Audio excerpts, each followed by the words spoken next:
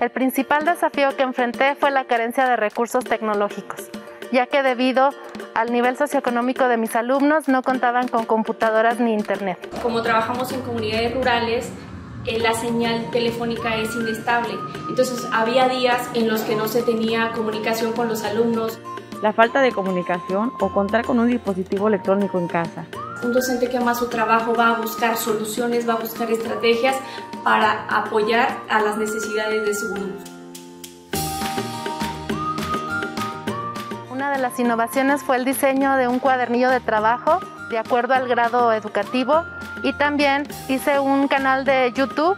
Siempre se trató de trabajar sin generar ningún gasto para los padres de familia, utilizando materiales que tuvieran en casa. Recurrí a utilizar la plataforma Facebook debido a que es gratuita y no consume datos en exceso como otras plataformas educativas. Ellos estuvieron en contacto conmigo presenciando todas las mañanas clases de español. Utilizando un videojuego en el cual pues tuve que prepararme previamente para poder implementárselos y que los alumnos vayan llegando al logro de los aprendizajes esperados mediante el juego. Al ver la necesidad que estábamos pasando como docente y como alumnos, la impotencia de no poder apoyar al mismo tiempo contestarles y responder a sus necesidades, surgió la necesidad de crear videos muy cortitos que no implicaran en los alumnos mucho gasto de datos y que pudieran descargarlos con mayor facilidad. De manera posterior fueron los mismos alumnos los que empezaban a replicar los videos